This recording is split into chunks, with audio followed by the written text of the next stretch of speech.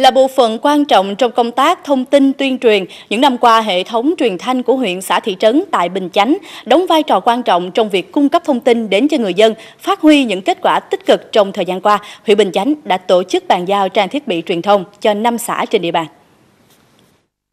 Năm xã được nhận trang thiết bị truyền thông là Tân Túc, Quy Đức, Đa Phước, Phạm Văn Hai và Hưng Long. Kinh phí hỗ trợ trang thiết bị này được công ty trách nhiệm hữu hạn xử lý chất thải Việt Nam VWS, doanh nghiệp đóng trên địa bàn xã Đa Phước hỗ trợ, sẽ cấp phần nâng cao đời sống văn hóa tinh thần cho người dân tại năm xã với việc cung cấp thông tin hữu ích đến cho bà con. Ông Phạm Công Đồng, Giám đốc Đài Tiếng Nói Nhân dân Thành phố Hồ Chí Minh cho biết, việc đầu tư vào hệ thống truyền thanh ở cơ sở, nhất là khu vực nông thôn mới, vùng sâu, vùng xa, sẽ góp phần tích cực trong việc tuyên truyền phổ biến kiến thức pháp luật, nêu gương người tốt, việc tốt. Sau năm xã của huyện Bình Chánh, Thành phố Hồ Chí Minh sẽ tiếp tục đầu tư hệ thống này cho các khu vực khác trên địa bàn.